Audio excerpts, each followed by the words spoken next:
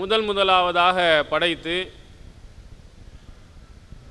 அந்த இருவர்களின் மூலமாக இந்த உலகத்தில் கோடான கோடி மக்களை எல்லாம் அல்ல அல்லாஹு தாலா பல்கி பெருக செய்திருக்கிறார்.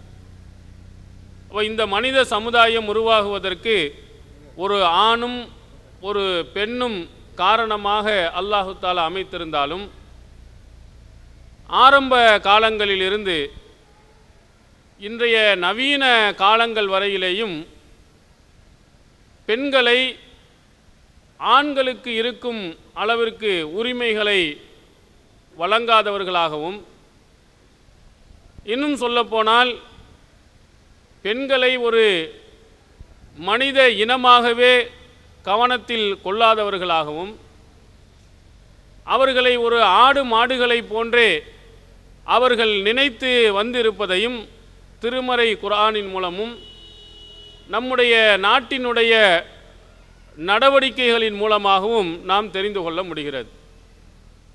நபிகள் பெருமானார் சல்லல்லாஹ் அலைவசல்லம் அவர்களுடைய காலத்தில் பெண்கள் எப்படி நடத்தப்பட்டு வந்திருக்கிறார்கள் என்பதை திருமறை குரானை நீங்கள் பார்த்தால் மிக தெளிவாக அல்லாஹ் சொல்கிறான் வைதா புஷிர் அகதுகும் பில் உன்சா லல்ல வஜுஹு முஸ்வத்தா வஹுவ கலீம் அந்த மக்களுக்கு பெண் குழந்தை பிறந்தது என்ற நல்ல செய்தி சொல்லப்பட்டால் அந்த குழந்தையை பெற்றவன் கோபம் கொள்ளுகிறான் ஆத்திரம் கொள்ளுகிறான். இந்த பெண் குழந்தை பிறந்ததற்காக வேண்டி அவன் வேதனை அடைகிறான். இந்த பெண் குழந்தையை அயும்சிகுஹு அலாஹூனின் அம் எதுசுஹு ஃபித்துராப் இந்த பெண்களை இந்த இழிவு நிலையிலேயே வைத்து கொள்ளலாமா? அல்லது மண்ணோடு போட்டு புதைத்து விடலாமா? என்று எண்ணுகிறான் என்று அல்லாஹ் குரானில் சொல்லுகிறான். ரசூசல்லா அலிசல்லுடைய காலத்தில் பெண் குழந்தை பிறந்தால் அந்த பெண்கள் இழிவானவர்களாக கருதப்பட்டதுடன் பலர் அந்த பெண் குழந்தைகளை உயிரோடு புதைத்தும் இருக்கிறார்கள். அதனால்தான் அல்லாஹ் இன்னொரு இடத்தில் சொல்கிறான் அபி ஐயிதம்பின் குத்திலத். நீங்கள் எந்த காரணத்திற்காக கொல்லப்பட்டீர்கள் என்று அந்த குழந்தை விசாரிக்கப்படும் பொழுது என்று குரானில் சொல்கிறான் மறுமை நாளையில் இவ்வாறு கொல்லப்பட்ட அந்த குழந்தைகள் மறுமையில் விசாரிக்கப்படும் என்றும் அதற்கு நீதி வழங்கப்படும் என்றும் குரான் சொல்கிறது அப்போ அன்றைய காலத்தில் நீங்கள் பார்த்தீர்களேயானால் கு- பெண்ணை ஒரு மனிதர்களாகவே கருத்தி கொள்ளாமல் மனிதர்களுடைய நிலையில் அவர்களை வைத்து பார்க்காமல் ஆண்கள் தான் உலகத்தில் உயர்ந்தவர்களாகவும் பெண்கள் மட்டமானவர்களாகவும் அவர்கள் கருதி வந்ததை இந்த திருமறை குரானுடைய வசனம் நமக்கு சொல்கிறது. அது ரசூசல்லா அலிஸ்லம் காலத்தில் மட்டுமல்ல நபிசல்லா அலிஸ்லம் காலத்திற்கு பிறகு வந்தவர்களும் சரி நபிசல்லா அலிசல்லம் அவர்களுடைய பெயரை பயன்படுத்தியே என்ன செய்திருக்கிறார்கள்? இந்த பெண்களை இழிவாக என்ன செய்திருக்கிறார்கள்? பேசியிருக்கிறார்கள். இட்டுக்கட்டப்பட்ட பலகீனமான ஹதீஸ்கள் நீங்கள் எடுத்து பார்த்தால் அல்லாஹ்வின் தூதர் அவர்களே பெண்களை வந்து மோசமானவர்களாக சித்தரித்திருக்கிறார்கள் என்பதை நீங்கள் பார்க்கலாம். அதில் ஒரு செய்தி இடம் வருகிறது ஷாவிரு ஹுன்ன வ ஹாலிஃபு ஹுன்ன வ இன்ன ஃபி ஹிலாஃபின்ன அல் பரக்கா அப்படின்னு ஒரு பலகீனமான ஒரு செய்தி இருக்கிறது. பெண்களிடத்திலே நீங்கள் ஆலோசனை செய்யுங்கள். ஆலோசனை செய்துவிட்டு பெண்களுடைய கருத்துக்கு மாற்றமாக நீங்கள் நடங்கள். இப்படி மாற்றமாக நடப்பதில் இறை அருள் இருக்கிறது பறக்கத்து இருக்கிறது என்று அல்லாஹுவின் தூதர் அவர்கள் சொன்னதாக ஒரு பொய்யான செய்தியை இட்டு கட்டியிருக்கிறார்கள். அவ பெண்களாக இருக்கக்கூடியவர்கள்ட்ட எந்த ஆலோசனையும் கேட்காதீங்க. அப்படியே ஆலோசனை கேட்டாலும் அதற்கு மாற்றமாக செய்தீர்களேயானால் அதில் தான் அல்லாஹ்வுடைய அருள் இருக்கிறது என்றெல்லாம் அல்லாஹின் தூதர் அவருடைய பெயரை பயன்படுத்தி கூட பெண்களை இழிவாக அன்றிலிருந்து இன்று வரையிலையும் பார்க்கிறோம். நீங்கள் தமிழகத்தில் எடுத்துக்கொண்டால் நாமக்கல் போன்ற சேலம் போன்ற அந்த பகுதிகளில் பெண் குழந்தை பிறந்தது என்று சொன்னால் அந்த பெண் குழந்தையை உயிரோடு கொண்டு விடுவார்கள். நெல்லை வாயிலை போட்டு அல்லது கள்ளிப்பாலை கொடுத்து அல்லது தெருவிலே தூக்கி போட்டு பெண் குழந்தைகளை கொல்லக்கூடிய ஒரு நிலைமை இன்றும் இருப்பதை நாம் பார்க்க முடிகிறது. ஆனால் ஆண் குழந்தைகளை அப்படி யாரும் செய்வதில்லை. ஆண் குழந்தைகளை தெருவில் தூக்கி போடுவதில்லை. ஆண் குழந்தைகளை கொலை செய்வதில்லை. ஆனால் பெண் குழந்தைகளை இன்றும் மிஞ்சானம் வளர்ந்திருக்கக்கூடிய இந்த காலகட்டத்திலேயும் பெண் குழந்தை என்று சொன்னால் வெறுப்பவர்களாக இருப்பதை பார்க்கிறோம். இன்றும் குழந்தைகள் பிறக்கின்ற பொழுது முதல்ல ஒரு பெண் குழந்தை இரண்டாவது ஒரு பெண் குழந்தை மூன்றாவது ஒரு பெண் குழந்தை என்று சொன்னால் தொடர்ந்து பெண் குழந்தையை முதல் வரும் பொழுதே கொஞ்சம் முகத்தை சுளித்து கொண்டு ஏற்றுக்கொள்கிறார்கள். இரண்டாவது என்றால் ஒரு மாதிரி பார்க்கிறார்கள். மூன்றாவதும் பெண் குழந்தையாக இருந்தால் பெண்களாக இருப்பவர்கள் கூட அதை ஏற்றுக்கொள்வதில்லை. மாமியாராக இருப்பவள் அதை ஒரு கேலி செய்வதையும் கிண்டல் செய்வதையும் இன்றும் நாம் பார்த்து வருகிறோம். அப்போ இந்த அளவிற்கு பெண்களை என்ன செய்கிறார்கள்? மட்டமானவர்களாகவே வைத்திருக்கிறாங்க. ஆரம்ப அதற்கு பல நிறைய கதைகளை கூட சொல்வார்கள். ஆதம் அலைஹிஸ்ஸலாம் அவர்கள் கெட்டுப்போனதற்கு என்ன காரணம்? இந்த ஹவ்வா அலை இஸ்லாம் அவர்கள் தான் ஒரு மரத்தை அல்லாஹ் தாலா என்ன செய்ய சொன்னான்? நெருங்காதே என்று சொன்னால் அதை சாப்பிடாதே என்று சொன்னால் அதை சாப்பிட வைத்தது என்ன யார் என்று சொன்னால் இந்த ஹவ்வா அலைஹிஸ்ஸலாம் அவர்கள் தான் நீங்கள் சாப்பிடுங்க அப்படின்னு சொல்லி அவர்களே ஆண்களை கெடுத்தாங்க. ஆதம் இஸ்லாம் அவர்களை கெடுத்தார்கள் என்ற கதையும் சொல்வார்கள். ஆனால் குரானில் அசல்லஹும ஷெய்தான் இந்த ரெண்டு பேர்களையும் ஷெய்தான் தான் கெடுத்தான் என்று குரான் நமக்கு தெளிவாக சொல்கிறது. ஆனால் என்ன சொல்வார்கள்? பெண்கள் தான் இந்த மாதிரி வேலைகளை எல்லாம் செய்து சமூகத்தை சீர்தழித்திருக்கிறார்கள் என்ற ஒரு மாய தோற்றத்தை அன்றைய காலத்திலிருந்து இன்றைய கால வரையிலேயும் செய்து வந்திருப்பதை நாம் பார்க்கிறோம். ஆனால் அல்லாஹ்வின் தூதர் அவர்கள்தான் இந்த சமுதாய மக்கள் அடைந்த இன்னல்கள் அதில் குறிப்பாக பெண்கள் அடைந்த அந்த இன்னல்களுக்கெல்லாம் ஆயிரத்தி நானூறு ஆண்டுகளுக்கு முன்பாகவே என்ன செய்திருக்கிறார்கள்? ஒரு அழகான ஒரு தீர்வை அவர்களுக்கு ஏற்படக்கூடிய பிரச்சனைகளை அவர்கள் அழகாக என்ன செஞ்சிருக்காங்க தீர்த்து வைத்திருக்கிறார்கள். அதனால் தான் என்னவோ அல்லாஹு அவர்களுக்கு பலதரமான திருமணத்தை செய்வதற்கு அனுமதி கொடுக்கிறார். அவர்கள் சந்தித்திருக்கக்கூடிய பல பிரச்சனைகளை அல்லாஹுவின் தூதர் அவர்கள் இறை தூதராக இருந்து அதை தீர்த்து வைத்திருக்கிறார்கள். இந்த சமுதாயத்திற்கு ஒரு அழகிய முன்மாதிரியாகவும் ஆக்கியிருக்கிறாங்க. அன்றைய காலத்தில் நடந்த அநியாயங்கள் அன்றைய காலத்தில் நடந்த மோசமான நிலைகள் இவைகளுக்கெல்லாம் தீர்வு வழங்கும் விதமாக அல்லாஹுவின் தூதர் அவர்கள் இந்த முதல்ல அவங்களுடைய உள்ளத்தில் இருக்கிறதே. இந்த பெண் என்று சொன்னால் மோசமானவள் பெண் என்று சொன்னால் மட்டமானவள் என்பதை அல்லாஹு தாலாவின் தூதர் அவர்கள் அங்கிருந்து எடுக்கிறார்கள். அந்த கெட்ட எண்ணத்தை முதலிலே அவர்களுடைய உள்ளத்தில் இருந்து வெளியாக்குகிறார்கள்.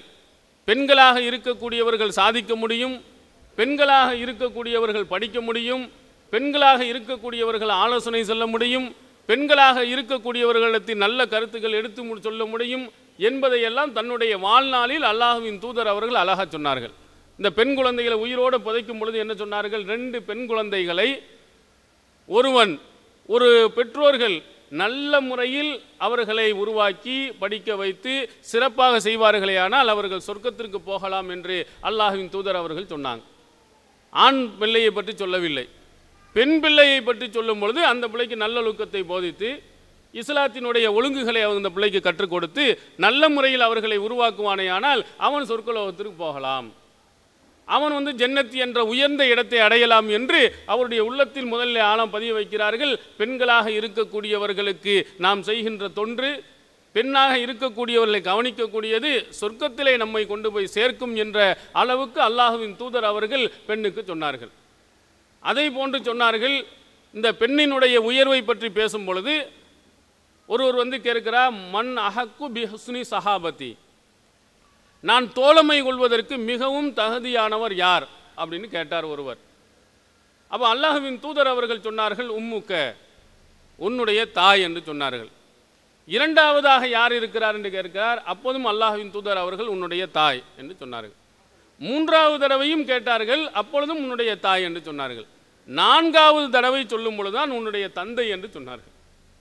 அல்லாஹுவின் தூதர் அவர்களிடத்தில் நம்ம ரொம்ப அன்பையும் பாசத்தையும் பொழிவதற்கு தகுதியானவர்களில் முதலிடத்தை யாரை கொடுக்கிறார்கள்னா ஒரு பெண்ணுக்கு தான் கொடுக்குறாங்க. அந்த தாய்க்கு தான் கொடுக்குறாங்க. நீ ஆணாக அல்லாஹின் தூதர் அவர்கள் இருந்தும் கூட தந்தைக்கு என்று சொல்லவில்லை. தந்தைக்கினுடைய இடம் நான்காவது இடத்தில் வச்சிருக்கிறாங்க. ஒரு ஆறுதல் பரிசை போன்று. பரிசு பெறக்கூடியவர்களுக்கு முதல் பரிசு இரண்டாம் பரிசு மூன்றாம் பரிசு தான் கொடுப்பாங்க. அதுக்கு பிறகு உள்ளது தான் நாலாவது பரிசு. அது வந்து ஆறுதல் பரிசு. இந்த அடிப்படையில் அல்லாஹ்வின் தூதர் அவர்கள் நீ அன்பையும் பாசத்தையும் செலுத்த வேண்டுமானால் உன்னுடைய தாய் தான் உனக்கு இருக்கிறதிலே முதல் உயர்ந்த இடம் முதலாவது இடம் என்று சொன்னதின் மூலமாக பெண்ணினுடைய பெருமையையும் அல்லாஹுவின் தூதர் அவர்கள் அங்கே உணர்த்தி காட்டினாங்க. இப்படி பெண்ணாக இருக்கக்கூடியவர்கள் அன்றைய காலகட்டத்தில் சந்தித்த பிரச்சனைகள் அன்றைய காலத்தில் இருந்த குழப்பங்கள் இவைகளை எல்லாம் அழகாக அவர்கள் மாற்றி அந்த பெண்களிடத்திலே நல்ல மார்க்க சிந்தனையை இஸ்லாத்தினுடைய உணர்வுகளை அவர்கள் ஊட்டினார்கள். அன்றைய காலத்தில் எப்படி இருந்தார்கள்? இந்த மார்க்கத்தை பற்றி இன்றும் கூட இருக்கிறாங்க. மார்க்கத்துக்காக வேண்டி அழைக்கப்படுவார்களே ஆனால் பரவலாக வருவதில்லை. ஆனால் ரசூசல்லா அலிசல்லமுடைய காலத்தில் அல்லாஹுவின் தூதர் அவர்கள் அங்கே போய் பெண்களுக்கு இந்த மார்க்க விஷயங்களை சொல்லும் பொழுது அவர்கள் எப்படி என்ன கேட்டார்கள்? இஜி அல்லனா யோமன். எங்களுக்காக வேண்டி ஒரு நாளை நீங்கள் ஒதுக்கி தாருங்கள். அல்லாஹ் என்ன சொல்லுகிறான்? நீங்கள் எப்படி எங்களை வாழ விரும்புகிறீர்கள்? எங்களுக்கு என்ன அறிவுரையை சொல்ல விரும்புகிறீர்கள்? எங்களுக்கு ஒரு நாளை கொண்டு வந்தாங்க. எங்களுக்கு ஒரு நாளை ஒதுக்கி நாங்கள் அதிலே வந்து என்ன செய்கிறோம்? நல்ல விஷயங்களை கேட்டுக்கொள்கிறோம் அப்படின்னு சொல்லிட்டு பெண்களாக இருக்கக்கூடியவர்கள் அல்லாஹுவின் தூதர் அவர்களிடத்திலே வந்து ஒரு நாளை ஒதுக்கச் சொல்லி அதிலே பயான் வைத்து மார்க்கத்தினுடைய அறிவுரைகளை கேட்டு வாங்கியிருக்கிறாங்க. ஆனால் இன்று என்ன சொல்வார்கள் அடுப்பூதும் பெண்களுக்கு படிப்பதற்கு என்று சொல்லுவாங்க. உங்களுக்கு என்ன பெண்களாக இருக்கும் சோறாக்க வேண்டியதானே? என்ன அவங்களுக்கு சாப்பாடு செஞ்சு கொடுக்க வேண்டியதானே? எங்கே எதுக்கு நீங்கள் படிக்க போகிறீங்க என்றெல்லாம் கேட்கக்கூடிய நிலையில் அன்று அல்லாஹுவின் தூதர் அவர்கள் சொல்கிறார்கள் நீங்கள் வந்து மார்க்க விஷயத்தை படிக்கணுங்கிறதுக்காண்டி அவர்களுக்கு ஒரு நேரத்தை ஒதுக்கி மார்க்கத்தின் விஷயங்களை எல்லாம் அவர்களுக்கு சொல்லிக் கொடுத்தாங்க. எந்த அளவுக்கு சொல்லிக் கொடுத்தார்கள்? எந்த அளவுக்கு விவரமாக அந்த பெண்மணிகள் வந்தார்கள்? அன்னை ஆயிஷா சித்திகார் அலி அல்லா அனுஹா என்ற ஒரு பெண்மணியை எடுத்து பாருங்கள். மார்க்க விஷயத்தில் அவர்கள் எவ்வளவு கடலாக திகழ்ந்திருக்கிறான்னு பாருங்கள். ஒரு உதாரணத்துக்கு ஒரு விஷயத்தை நான் அவர்கள் அவர்கள் விஷயமாக சொல்லுகிறேன். மஸ்ரூக் என்ற தோழர் அவர்கள் சொல்லுகிறார் லக்கத் ராய்த்து அகாபிர அஹ், சல்லல்லாஹ் முஹம்மதின் ஸல்லல்லாஹு நபிசல்லா அலை சொல்லம் அவர்களுடைய தோழர்களில் மூத்த தலைவர்களை நான் பார்த்திருக்கிறேன். எஸ் அலூனஹா அனில் ஃபராயிலி. இந்த வாரிசுரிமை சட்டம் தொடர்பாக ஆயிஷா நாயகி அவர்களிடத்திலே அவர்கள் போய் என்ன செய்திருக்கிறார்கள்? கேட்டிருக்கிறார்கள். யாரு? ஆண் நபி தோழர்கள் வாரிசுரிமை சட்டம் தொடர்பாக சிக்கல்கள் ஏற்பட்டால் அன்னை ஆயிஷா சித்திகார் அலியல்லா அன்ஹா அவர்கள்ட்ட போய் விளக்கம் கேட்பார்களாம். அங்கே போய் இதனுடைய கருத்து என்ன? இதில் எப்படி எத்தனை பேருக்கு எவ்வளவு பங்கு கொடுக்கலாம்? என்ற கணக்கு வழக்கிலும் கூட சிறந்தவர்களாக ஆயிஷா நாயி அவர்கள் இருந்திருக்கிறார்கள். அல்லாஹுவின் தூதர் அவர்களிடத்திருந்த படித்த படிப்பின் காரணத்தினால். அபு முசல் அஷர் அவர்கள் சொல்கிறார்கள் திருமதியில் பார்க்கிறோம் நபித்தோழர்களுக்கு ஏதாவது சிக்கலான ஒரு கேள்விகள் எதுவும் வந்துவிட்டால் நாங்கள் உடனே போய் ஆயிஷா நாயி அவர்களிடத்தில் நாங்கள் கேட்போம். அவர்களிடத்திலிருந்து ஒரு சிறந்த ஒரு பதிலை சிறந்த ஒரு கல்வியை நாங்கள் பெற்றுக்கொள்வோம். அப்ப சிக்கலான ஒரு சூழ்நிலை வருகின்ற பொழுது கூட பெண்களாக இருக்கக்கூடியவர்கள் பதிலளித்திருக்கிறார்கள். அல்லாஹுவின் தூதர் அவர்களிடத்திலே பெற்ற அந்த கல்வியை மக்களிடத்தில் எடுத்துச் சொல்லியிருக்கிறார்கள். அந்த ஞானம் அவர்களுக்கு நிறைய இருந்திருக்கிறது. ஆயிஷா நாயி அவர்களிடத்தில் நீங்கள் பார்த்தீர்களே ஆனால் அவ்வளவு அறிவை அல்லாஹு கொடுத்திருக்கிறான். பெண்களாக இருப்பவருக்கு ஒருத்தருக்குமே இல்லை என்ற இல்லை. அவர்கள்ட்ட கேட்டீர்களே ஆனால் உருவா என்று சொல்லக்கூடிய அவருடைய சகோதரி அஸ்மா அவர்களுடைய மகன் உருவா. இவர் ஆயிஷா நாய் அவர்களுடைய அதிகமாக சேர்ந்திருப்பார்.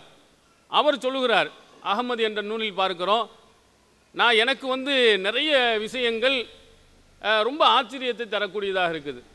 ஆனால் அது ரொம்ப முக்கியமான ஒரு விஷயம் மட்டும் எனக்கு விளங்கவில்லை எப்படி என்று விளக்குங்கள் என்று கேட்கிறார். என்ன ஒன்று கேட்கிறார்? உங்களிடத்தில் வந்து இதற்கு முந்தைய காலங்களில் நடந்த சம்பவங்களை எல்லாம் கேட்டால் நல்லா சொல்கிறீங்க அது எனக்கு ஆச்சரியத்தை தரவில்லை. ஏன் காரணம் என்ன?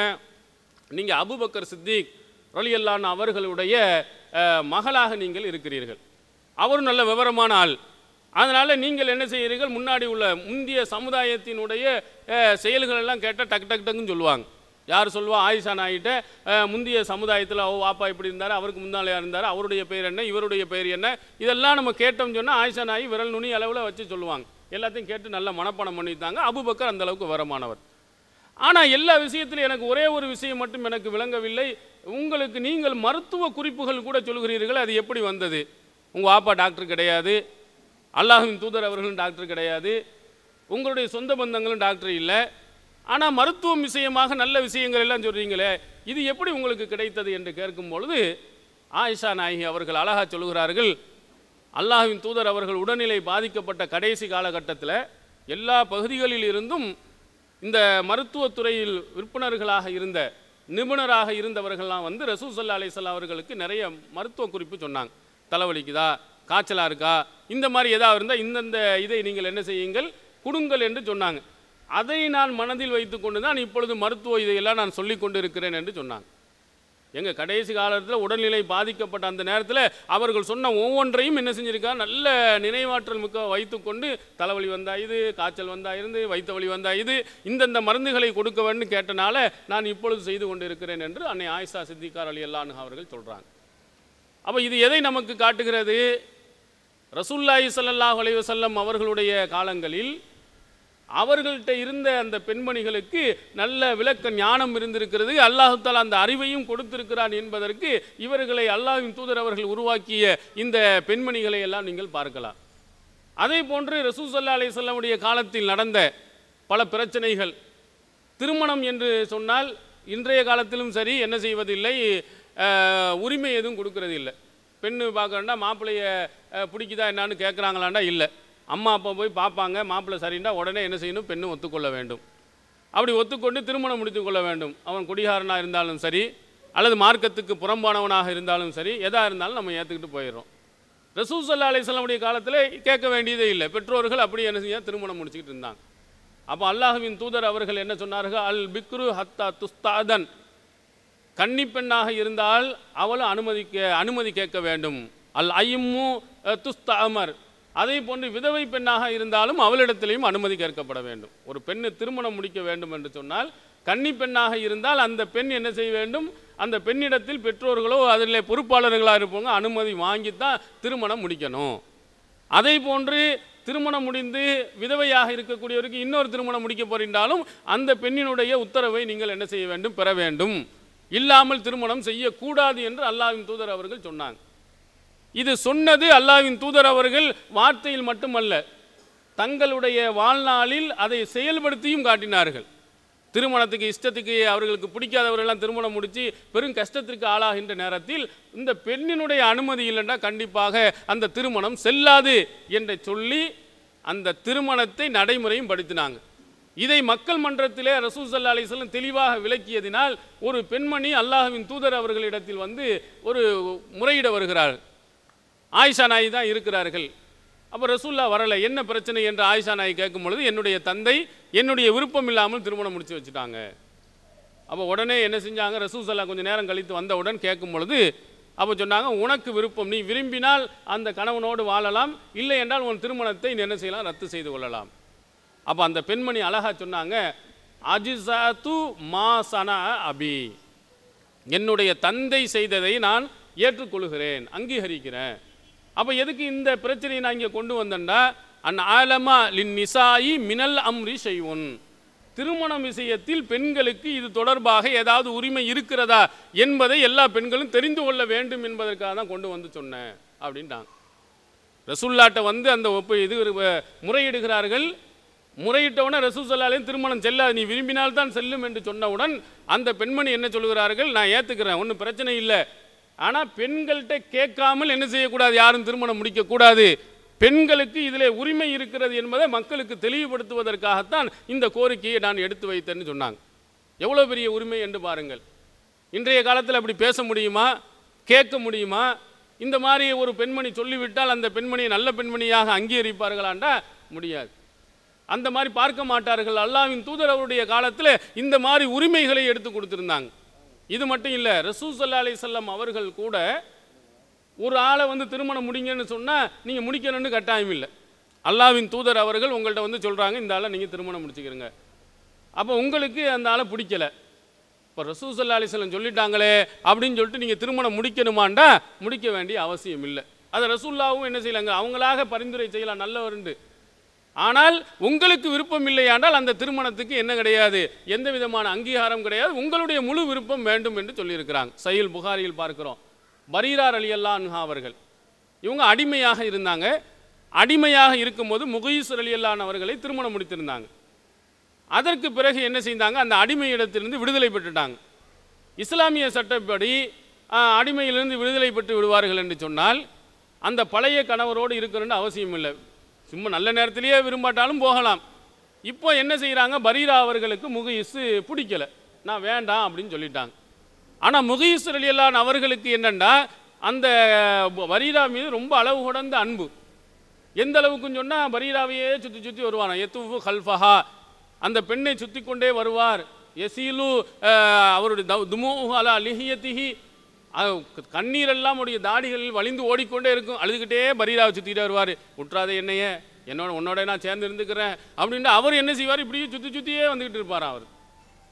இது யாருக்கு? இது இப்படி யாராவது வந்துக்கிட்டு இருந்தாங்கன்னா சும்மா யாரா நம்ம பார்க்கக்கூடியவருக்கு. அதுவும் அழுது அழுது பழைய மனைவியோடு சேர்ந்து இருக்கிறேன். அப்படின்ட்டு அழுது கொண்டு இருக்கும்போது பார்ப்பவர்களுக்கு என்ன செய்யும்? ஏ பாவமாக இருக்கிற ஏமா நீ சேர்ந்து இருந்துக்கிட்டா என்னன்னு நம்ம சொல்ல மாட்டோமா? ரசூசல்லா அலி சொல்லம் அவர்கள் அப்படி சொல்கிறாங்க அது சொல்லும் பொழுது அப்பாஸ் அவர்கள்ட்ட சொல்லுவாங்க அலா தாஜம் உனக்கு ஆச்சரியத்தை ஏற்படுத்தவில்லையா? இந்த முகீஸ் வந்து பரீரா மேலும் கொண்டுள்ள அன்பை பாரு. இந்த பரீரா முகீஸ் மீது கொண்டுள்ள வெறுப்பை பாரு. நேரும் எதிராவில் இருக்க இவர் அளவு கடந்து அன்பு செலுத்துகிறார் அந்த பெண்மணி அளவு வந்து வெறுப்பு வெறுப்பு இது பண்ணுறார் அப்போ ரசூசல்லா அலிசல்லாம் அவர்கள் இந்த மாதிரி முகீஸ் அழுகுறதை பார்த்து சொல்கிறாங்க ஏம்மா நீ சேர்ந்து வாழ்ந்துக்கிற கூடாதா? அப்போ கேட்குறாங்க தமூர் பிஹி நீங்கள் கட்டளை இடுகிறீர்களா இது மார்க்க சட்டமாக நீங்கள் சொல்கிறீர்களா? நீங்கள் இது அந்த மார்க்கப்படி இப்படி தான் சேர்ந்து வாழ வேண்டும் என்று எதுவும் இருக்கிறதா? அப்படின்னு கேட்குறான் இல்லை இன்னமா ஆனால் அஷ்ஃபவ்.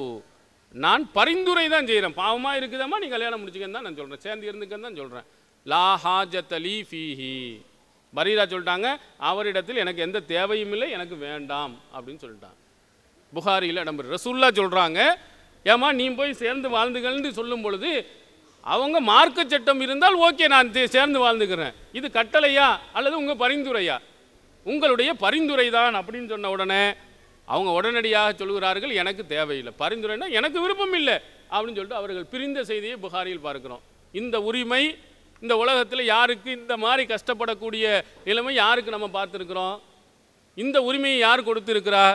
அல்லாஹுவின் தூதர் அவர்கள் தான் தன்னுடைய வாழ்நாளில் இந்த அளவுக்கு ஒரு பெண்ணுக்கு ஒரு பெண்ணை மனுஷனாகவே மதிக்காத ஒரு உயிராகவே மதிக்காத ஒரு காலகட்டத்தில் நீ விரும்பிய ஆளும் உனக்கு விருப்பமாக இருக்குமானால் அவரோடு வாழ்ந்துக்கிறலாம் இல்லை என்றால் நீ விட்டுட்டு போகலாம்ங்கிற அளவுக்கு மிகப்பெரிய ஒரு உரிமையை அல்லாஹுவின் தூதர் அவர்கள் தான் கொடுத்திருக்கிறாங்க. அப்போ மனிதர்கள் அன்றைய காலத்தில் விட்ட அந்த கண்ணீர்களுக்கெல்லாம் ரசூல்லாஹி சல்லாஹ் அலைவசல்லம் அவர்கள் அங்கே என்ன செய்திருக்கிறார்கள்? அழகான ஒரு வழிமுறையை இந்த சமுதாயத்திற்கு என்ன செஞ்சுருக்கிறாங்க? காட்டியிருக்கிறாங்க. அப்போ இந்த அடிப்படையில் இஸ்லாமிய பெண்களாக இருக்கக்கூடியவர்கள் இதை போன்ற ஒரு வழிமுறைகளை என்ன செஞ்சிடும் எடுத்துக்கிறாங்க அடுத்ததாக இந்த சமுதாய மக்களுக்கு மத்தியில் ஏற்படக்கூடிய பிணக்குகள் இந்த மாந்தர்களுக்கு மத்தியில் ஏற்படக்கூடிய சிக்கல்கள் சண்டைகள் இதில் எங்கே அதிகமாக வருகிறது? அதுக்கு உள்ள தீர்வுகள் என்ன? சண்டைகளை பல சொல்லலாம். உங்கள் குடும்பத்தில் இருக்கக்கூடியது தெருவில் இருக்கக்கூடியது. அதில் வெளியில் இருப்பதை கூட நீங்கள் என்ன செய்ய ஜீரணித்துக் கொள்ளலாம். ஆனால் உங்கள் கணவன் மனைவிக்கு மத்தியில் உங்களுடைய குடும்பத்துக்கு மத்தியில் பிரச்சனைகள் ஏற்படுமானால் அந்த பிரச்சனைகளுக்கு உள்ள தீர்வுகள் என்ன? எப்படி நீங்கள் நடக்க வேண்டும் என்று ரசூல்லாய் சல்லா அலைஹிஸ்ஸலாம் அவர்கள் சொன்னார்கள் என்பதை நீங்கள் தெரிந்து கொள்வீர்களானால் நிச்சயமாக உங்களுக்கு மத்தியில் ஏற்படக்கூடிய சண்டைகள் பிரச்சனைகள் இவைகளை எல்லாம் என்ன செய்யலாம்? ஈஸியாக நீங்கள் தவிர்ந்து கொள்ளலாம். சொல்லுவாங்கன்னு ரசூல் சல்லா அலிஸ்லாம் பன்னெண்டுக்கு மேற்பட்ட திருமணங்களை முடித்திருந்தார்கள். ஆனால் அவர்கள் பெரிய பிரச்சனைகளை சந்தித்ததில்லை. ஆனால் ஒரு திருமணம் முடித்து இருக்கக்கூடியவர்களிடத்திலேயே தினமும் அடிக்கடி என்ன செய்கிறது? சண்டைகள் பிரச்சனைகள் ஏற்படுகிறது. இந்த மாதிரி சண்டைகள் பிரச்சனைகள் ஏற்படுகின்ற போது நீங்கள் எப்படி நடந்து கொள்ள வேண்டும்? அதுக்கு என்ன தீர்வு? முதலில் வரக்கூடிய இந்த பிரச்சனைகள் வந்து அவசரப்பட்டு ஆத்திரப்பட்டு எந்த முடிவையும் என்ன செய்துவிடக்கூடாது எடுத்துடக்கூடாது.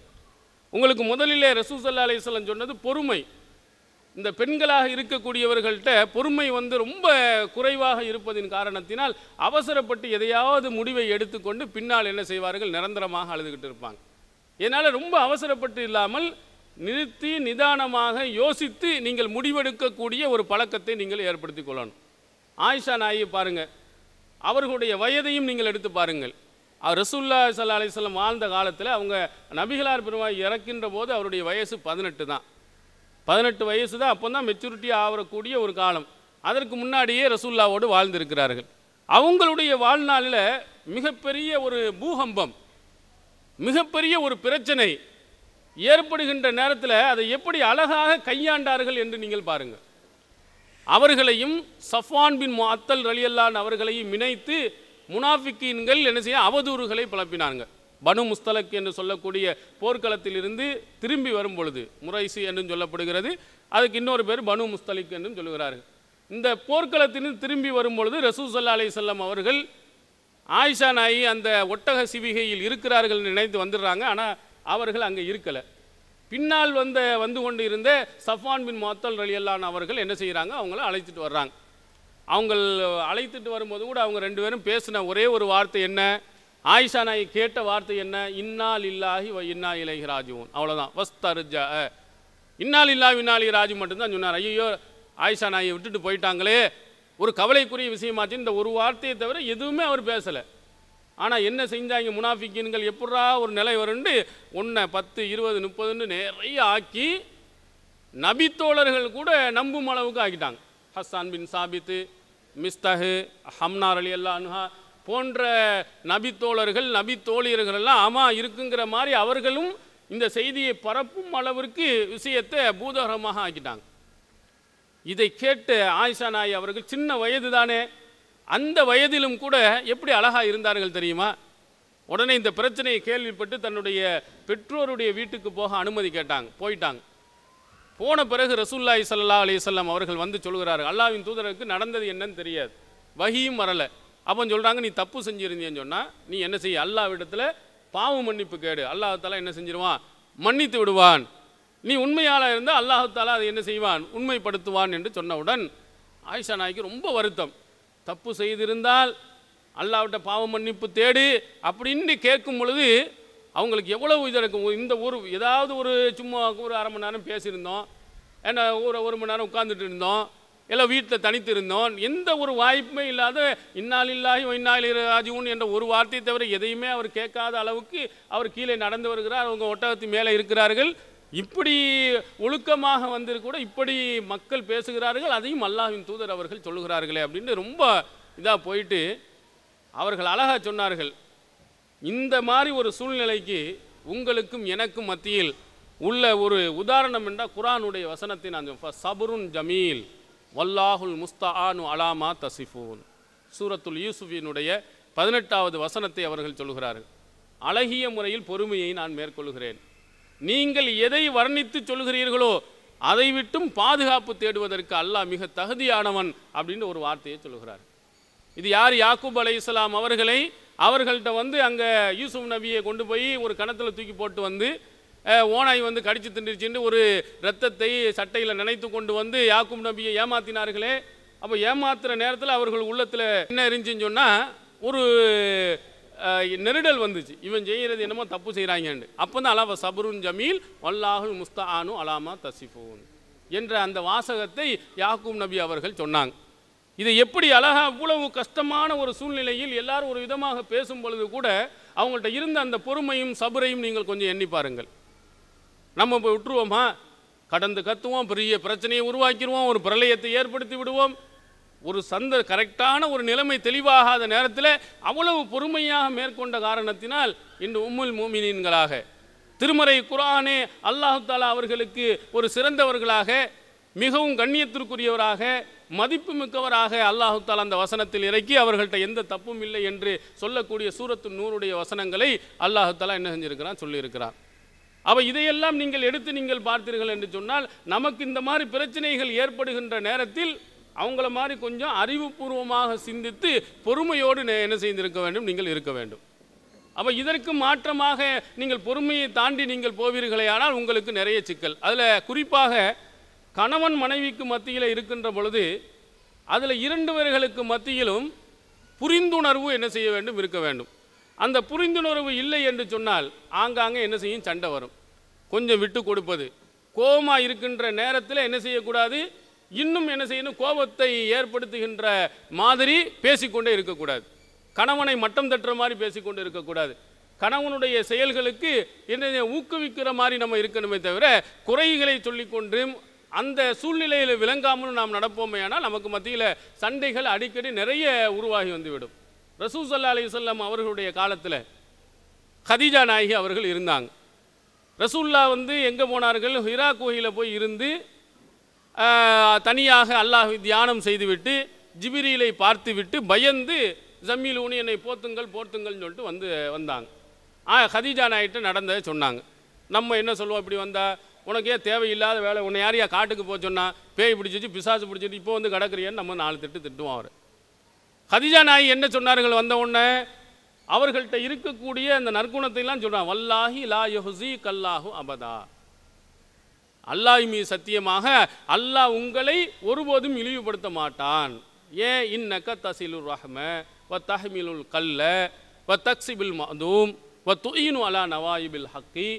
நீங்கள் உறவினர்களோடு சேர்ந்து வாழுகிறீர்கள் இல்லாதவர்களுக்கு உழைக்கிறீர்கள் கஷ்டப்படுபவர்களுக்காக வேண்டி உதவி செய்கிறீர்கள். சத்திய போராட்டங்கள் ஈடுபடுபவர்களுக்கு உதவிகளை நீங்கள் செய்கிறீர்கள். அல்லாஹாலா உங்களை ஒன்றுமே செய்ய மாட்டான். இப்படி சொன்னால் அந்த கணவருக்கு எவ்வளோ மன ஆறுதலாக இருக்கும்? இந்த தவி ஜமாத்தில் வெளியில் போகிறோம் லேட்டாக போ போயிட்டு வர்றோம் உங்களுக்கு இதே வேலையாக போச்சு. இப்போ பார்த்தாலும் ஜமாத்து வேலை ஜமாத்து வேலை அங்கேயே போகிறீங்க இங்கேயும் உங்களுக்கு பிள்ளை கிடையாது உங்களுக்கு மனைவி கிடையாது மக்கள் கிடையாது. அப்போ அங்கேயே ஜமாத்து வேலையில் தலை இருந்து போயிட்டு அந்த பிரச்சனை இந்த பிரச்சனைன்னு வந்துட்டு இங்கே வீட்டுக்குள்ளே போனால் என்னாகும்? இன்னும் கிறுக்கு பிடிக்கும் அவருக்கு. அப்போ ரெண்டு பேருக்கும் மத்தியில் சண்டைகள் என்ன செய்யும்? சின்னது பெரிய அளவில் வரும். அப்போ வரும்பொழுது என்ன சொல்லணும்? அப்படி லேட்டாக வந்துட்டீங்கன்னா கவலைப்படாதீங்க. நான் பிள்ளையை பார்த்துக்கிறேன். நாளைக்கு நான் ஸ்கூலில் கொண்டு போய் நான் சேர்த்துக்கிறேன். நீங்கள் ஒன்றும் டென்ஷன் ஆகாதீங்க. இந்த மாதிரி இருந்தால் சத்திய போராட்டத்தில் நம்ம நடக்கும்போது இந்த பிரச்சனையெல்லாம் வருந்தான் நீங்கள் கவலைப்படாமல் இருங்கண்டா அவருக்கு கொஞ்சம் ஆறுதலாக இருக்குது வெளியில தான் பெரிய பிரச்சனைடா. வீட்லேயும் இவ்வளோ பெரிய பிரச்சனையாண்டு அவர் என்ன செய்யக்கூடாது நினைக்கக்கூடாது. எப்படி எல்லாம் நடக்கிற? நகைச்சுவையாக சொல்வார்கள். பூகம்பம் ஏற்படுகின்ற போது அவர் சொல்லியிருக்கிறார் வீட்டில் வீட்டுக்காரர் வந்து பாரு எல்லா வீட்லேயும் கிராக்கு ஏற்பட்டிருக்கு. கிராக்குனா உடஞ்சி அங்கங்கே வி- விரிசல் விழுந்திருக்குது. நம்ம வீட்டில் மட்டும் என்ன செய்யல விழுவலை பார்த்தியா ஆமாம் ஒரு கிராக் இருக்கும்போது எதுக்கு இன்னொரு ஒரு கிராக் வரணும்? அப்படின்னு சொல்லு கிராக்குனா தெரியுமா? நம்ம பகுதியில் கிரா ஏன்னா கிறுக்கு பிடிச்சவன். இந்த ஒரு மாதிரியாக பேசக்கூடியவன். அதுக்கு கொண்டாடி அவங்க சொல்லியிருக்கிறாங்க ஒரு கிராக்கு ஒரு கிராக்கு இங்கே இருக்கும்போது இன்னொரு கிராக் எதுக்கு இங்கே வரப்போகுது? நீனே எப்போ கிராக்கு பிடிச்ச மாதிரி தான் நடப்ப? இப்படின்னு அங்கே போய் சொன்னால் கணவனுக்கு மத்திய ரெண்டு பேர்களுக்கு மத்தியில் எப்படி வந்து ஒரு இணக்கம் ஏற்படும்? ரெண்டு பேருக்கு மத்தியில் எப்படி வந்து அன்பும் பாசமும் இதாக இருக்கும்? ரெண்டு பேருக்கு மத்தியில் அடிக்கடி சண்டையில் இருவர்களுக்கு மத்தியில் உள்ள அந்த அன்பையும் பாசத்தையும் ஒரு சொல்லுவாங்க. ஒரு கணவர் சொல்லியிருக்கிறார் இந்த மாதிரி ஆள் எங்கள் குடும்பத்தில் என் மனைவிக்கு வந்து கோவித்து கொண்டு சண்டை போட்டுக்கொண்டு அவ உம்மா வீட்டுக்கு போனதே கிடையாது. அப்படின்ற ஒன்று அப்படியா? மாஷா அல்லா பரவாயில்லையே. உங்கள் மனைவிட்ட உங்கள் மனைவி சண்டை போட்டு அவங்க வீட்டுக்கு போனது இல்லையா? இல்லை இல்லை. நான் தான் அடிக்கடி எங்கள் அம்மா வீட்டுக்கு நான் போயிடுவேன் அங்கே சண்டை அங்கே வந்து இவன் நான் ஏன் போகணும் நீ போயான்னு விரட்டி விட்டுறான். இந்த மாதிரி ரெண்டு பேருக்குள்ள இணக்கம் என்ற பெயர்களில் எப்படி அன்பு பாசம் அவர்களுக்கு மத்தியில் பராமரிக்கப்படுகிறது என்று சொன்னால் இந்த மாதிரி இடையூறுகளுக்கு மத்தியில் என்ன செய்யுது சண்டைகள் இந்த மாதிரி அன்பு பாசங்கள் இப்படி நடந்து கொண்டிருப்பது. ரசூல்லாய் சல்லா அலிஸ்லாம் என்ன சொன்னார்கள்? இதா நலர சர்ரத்துஹு. அவன் வந்து இந்த மனைவியை பார்த்தால் அவள் மகிழ்ச்சியூட்டுவாள். அவனை பார்த்த உடனேயே சந்தோஷத்தை ஏற்படுத்துகிற மாதிரி இருப்பாளே தவிர அங்கே நாளைக்கு வரக்கூடிய சண்டையை ஒன்றை பத்தாக ஆக்கி உங்கள் அம்மா செஞ்சதை பார்த்தீங்களா உங்கள் அக்கா செஞ்சதை பார்த்தீங்களா இவ செஞ்சதை பார்த்தீங்களா வந்த உடனேயே வெளியூர்லேருந்து வந்தா அல்லது வெளிநாட்டிலேருந்து வந்தால் பட்டியல் மொத்தமாக எழுதி வச்சுக்கிறது. என்ன? எழுதி வச்சுக்கிட்டு ஒன்றுன்னா வாசி வாசி நீங்கள் இந்த இந்த பிரச்சனை இந்த பிரச்சனை அடுத்த பிரச்சனை. இப்படியே வருமையானால் ரெண்டு பேர்களுக்கு மத்தியில் என்ன செய்யாது? கண்டிப்பாக இணக்கங்கள் ஏற்படவே செய்யாது. ரசூசல்லா அலிஸ்லாம் ஆயிஷா நாய் கூட சண்டை வந்துச்சு வராமலா இருந்தது அந்த சண்டையை கூட எப்படி நுணுக்கமான முறையில் அல்லாவின் தூதர் அவர்களுக்கு உணர்த்துனாங்க தெரியுமா? ரசூல்லாவே சொல்கிறாங்க உனக்கு எப்போ கோபம் வரும்? எப்போ சந்தோஷமாக இருப்பேன் எனக்கு நல்லா தெரியும். எப்படி உங்களுக்கு தெரியும்? சொல்லுங்கள் பார்ப்போம் அப்படின்னா ரசூசல்லா அலிஸ்லம் சொன்னாங்க நீ வந்து ரொம்ப சந்தோஷமாக இருந்தால் ரப்பி முஹம்மத் முகம்மதுடைய இறைவன் மீது சத்தியமாகன்னு சொல்லுவ. உனக்கு கோபம் ஏதாவது வந்துச்சுன்னு சொன்னால் ரப்பி இப்ராஹிம் இப்ராஹிமுடைய இறைவன் மீது சத்தியமாக அப்படின்னு நீ என்ன சொல்லுவ? அவங்களுடைய கோபத்தினுடைய உச்சகட்டத்தை பாருங்க. கோவம் இந்த வார்த்தையில் உங்கள் பேரை நான் சொல்ல மாட்டேன் அவ்வளவுதான். பேரை சொல்லாமல் இப்ராஹிம் நபி எங்களுடைய முன்னோர்கள் அவங்களுக்கு ரெண்டுக்குமே அல்லாஹ் தான். முகமதுனுடைய இறைவனும் அல்லாஹ் தான் இப்ராஹிம் நபியுடைய இறைவனும் அல்லாஹ் தான். அவங்க அந்த கோபத்தின் வார்த்தையில் ஒரு சின்ன ஒரு விஷயத்தை என்ன செஞ்சுருக்கிறாங்க காட்டியிருக்கிறாங்க.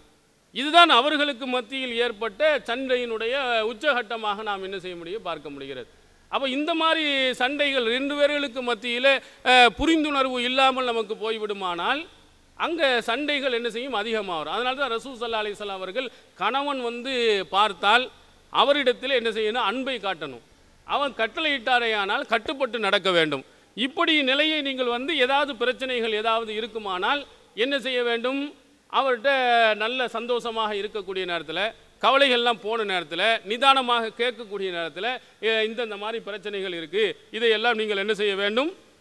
நீங்கள் நல்ல முறையை கவனிக்கணும் அப்படின்னு என்ன செய்யணும் சொன்னமையானால் புரிஞ்சுக்கிடுவாங்க அது இல்லாமல் அவருக்கு வர நேரமெல்லாம் குறைய சொல்வது அல்லது தன்னுடைய கணவன் மேலே அது அடிக்கடி சந்தேகங்கள் படுவது ஒரு நகைச்சுவையாக சொல்வார்கள் நீ மகாலட்சுமி மாதிரி இருக்கிறம்மா அப்படின்னு சொல்லியிருக்கான். மகாலட்சுமி மாதிரி. அந்த மகாலட்சுமி யார்? மகாலட்சுமினா எதுக்கு சொல்லுவாங்க? அழகாக இருக்கிறதுக்கு சொல்லுவாங்க மகாலட்சுமின்னு.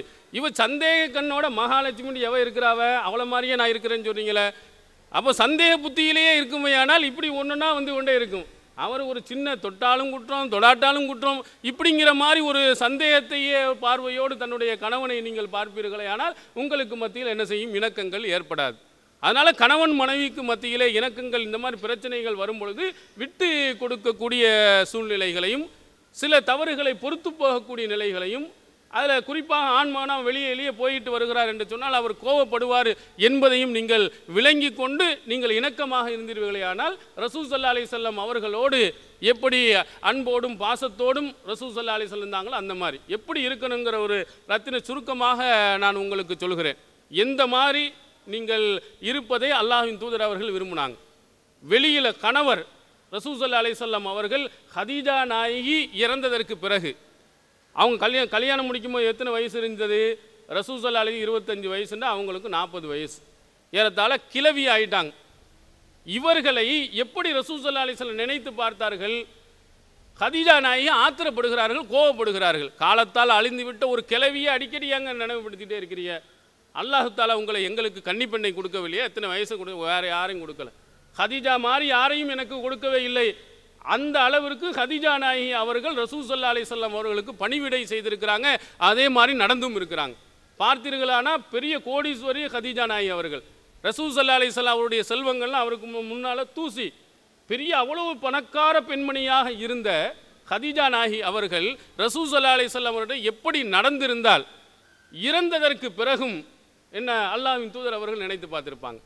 இப்போ என்ன? இவன் எப்பண்டா போவா? இன்னொரு கல்யாணத்தை முடிக்கலாம். அப்படின்னு நினைக்கிற அளவுக்கு நம்ம நிலைமை இருக்கிறது. இப்போ போவாளா? போயிட்டாலா அடுத்தவனை முடிச்சுக்கலாமா அல்லது இருந்து கொண்டே இன்னொன்று கள்ளத்தனமாக நம்ம முடிச்சுக்கலாமா தெரியாமல் முடிச்சுக்கலாமா இந்த கஷ்டம் இல்லாமல் போயிருமே அப்படின்னு நினைக்கிற மாதிரி இருக்கக்கூடாது. எப்படி இருக்க வேண்டுமானால் இந்த மனைவி மாதிரி எனக்கு வேறு யாரும் கிடைக்க மாட்டார்கள். இந்த மனைவி மாதிரி பொறுமையாளர்கள் நான் பார்க்க முடியாது. கட்டுப்படுற தன்மையில் பார்க்க முடியாது. என் சொன்ன பேச்சை கேட்பதில் பார்க்க முடியாதுன்னு தன்னுடைய கணவன் நினைக்கும் அளவிற்கு நம்முடைய நடவடிக்கைகளை அமைத்து கொண்டால் எதற்கெடுத்தாலும் குறை சொல்லாமல். மார்க்கத்துக்கு முரணாக இருந்தால் மட்டும் அந்த குறைகளை எடுத்துச் சொல்லும்போது மற்ற விஷயங்களை எல்லாம் நீங்கள் சாதாரணமாக நீங்கள் எடுத்துக்கொள்வீர்களே ஆனால் உங்களுக்கு மத்தியில் பிரச்சனைகள் மிகவும் குறைந்துவிடும். அல்லாஹ்வின் தூதர் அவருடைய காலத்தில் அவருடைய செயல்களிலேயும் நாம் என்ன செய்கிறோம்? இதை போன்று நாம் பார்க்கிறோம். எனவே ரசூசல்லா அலி சொல்லம் அவருடைய நபிமொழிகளை அவங்களுடைய குடும்பத்தில் தொடர்பு கொண்ட நடந்து கொண்ட அந்த முறைகளையும் நீங்கள் தொடர்ந்து நீங்கள் படிப்பீர்களே ஆனால் அவர்களுடைய அந்த அற்புதமான வழிகாட்டு முறைகளை இன்ஷா அல்லா நாம் பின்பற்றி இந்த குடும்பத்திலே இந்த சமூகத்திலே ஒரு சிறந்த குடும்பத்தினர்களாக கணவன் மனைவிகளாக நீங்கள் வாழ்வதற்கு எல்லாம் அல்ல அல்லாஹ் தலா அருள்வான் வாஹிருதாவனால் இல்லா